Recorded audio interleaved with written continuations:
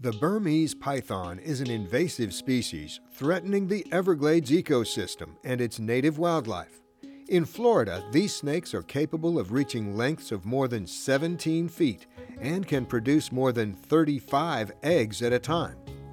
You can help the Florida Fish and Wildlife Conservation Commission limit the impact of Burmese pythons by participating in the 2013 Python Challenge. During this month long challenge, competitors will harvest these snakes and compete for prizes for the most and longest Burmese pythons caught.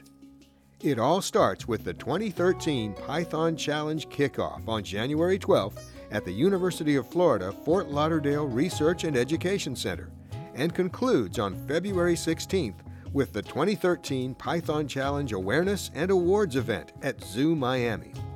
Even if you're not ready to capture a python, come see the snakes. Meet the experts who research and capture Burmese pythons and learn how you can help protect our precious resource, the Florida Everglades.